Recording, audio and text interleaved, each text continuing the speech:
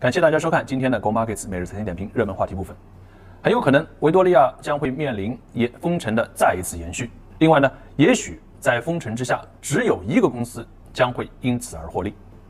那么根据周一的信息，维维州特别是墨尔本呢，现在又出现了五例的新冠疫情，其中一例还是养老院的护工。这样一来的话呢，就使整一个社会呢是非常的担心。现在特别是弱势群体、老年人这一部分，一旦疫情再次传播到养老院这个群体当中，那么它潜在的伤害毫无疑问将是巨大的。大家可能会觉得，这个护工明明已经打了一次疫苗，怎么还能得呢？那么根据现在披露的数据显示呢，这名护工是在五月十二日注射了第一次的辉瑞疫苗。五月十二日注射第一次之后，需要在六周之后才能注射第二次。但是根据现在数据显示呢，通常在注射了一剂疫苗之后的保护率只有百分之五十。只有在注射两剂之后，并且呢，在注射完两剂，并且这十四天之后，才能达到百分之九十以上的保护率。因此，非常不幸，这名护工的一次注射保护百分之五十的概率没有能够保护住他。但是不幸中的万幸呢，是根据现在的疫苗披露的数据显示，即便是只有接受了一次疫苗，但是它的严重程度以及最终的致死率将会大幅下降。所以说呢，这也是不幸中的一个万幸。但是。由于它是在养老群体中，所以说呢，对于这部分特别是弱势群体潜在的风险，这让整一个墨尔本以及维多利亚州陷入深深的担忧之中。根据目前的数据，很有可能原本在本周四即将解封的墨尔本封城，将会延期至少是三至五天，有可能是再延一周。因为呢，在周一披露的这个神秘的感染病例呢，无法确认其来源。理论上来说，就需要十四天的这个啊潜伏期，等它暴露出来之后，在潜伏期之内，所有的病例都暴露出之后呢，才能最终解封。如果按照按照从上周日开始计算，发现，那么就需要两周，也就是要到下下周日，这十四天才能结束。即便是我们打折打到十天时间，那么本周四的这个原本本周四的解封也来不及。所以说。很有可能，至少这次的封城将会要持续到本周末，甚至于下个星期。另外呢，我平时不太不太怎么喜欢评论这个政府的措施，但是这一次墨尔本第四次的封锁，应该说是一个巨大的人为错误啊！为什么这么说呢？咱们想啊，很多朋友都会觉得，为什么墨尔本这么倒霉？整个澳大利亚这么多城市，只有墨尔本一个城市，在过去到现在一年中，整整封锁了四次啊！但是。这一次第四次的封锁，依然呢，维州政府我看，要不就是怪南澳政府的酒店隔离系统有问题，要不呢就是怪联邦政府那边啊疫苗的推广呢太慢，但从来就不检讨自己的问题啊。咱们看看对比一下其他城市，悉尼，在圣诞节的时候，人家那个岛上一天十几例的病例出现，也没有封城啊，最后也压下去了。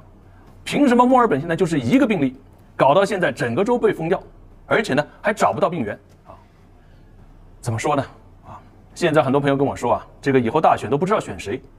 如果选工党，看看墨尔本现在这个执政水平啊，一年封四次，到目前为止呢啊，这个酒店的能力，包括呢跟踪能力，依然追不上悉尼。那如果选自由党呢，又和中国的关系搞得这么差，影响到在澳洲所有生活的华人啊，那左也不能选，右也不能选，选谁呢？绿党那又是一个极端啊，只能选什么呢？就选猫猫狗狗党。比如说什么动物保护党啊啊妇女儿童党啊啊这些，要不然的话，在我看来，这个这个墨尔本真的是不能怪别人，只能怪当局自己的执政能力和系统维护改进能力严重落后啊。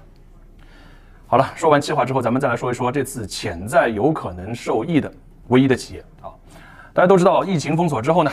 这个中小企业，尤其是餐饮娱乐，打击是非常的严重。现在根据数据显示呢，一每一周维州维州的封锁将会影响到至少二十亿澳元的损失，再加上政府给的两亿补贴，一周就是二十二，两周就是四十四，接近于四十五亿澳元的损失。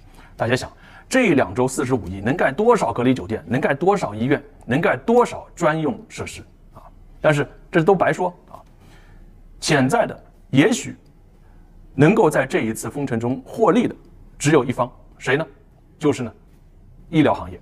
说的更加具体一些，这是原本大家都已经不太待见的、不喜欢的、抗拒的什么英国疫苗，以及英国疫苗的本地生产企业 CSL。咱们都知道，在这次封锁之前啊，哦，整一个澳大利亚的疫苗接种率非常低，大家都在等呢年底的美国疫苗。现在呢，你有两种选择，要不就是等今年年底十月、十一月开打，要不然的话，现在就是硬扛，或者呢就是打这个英国疫苗。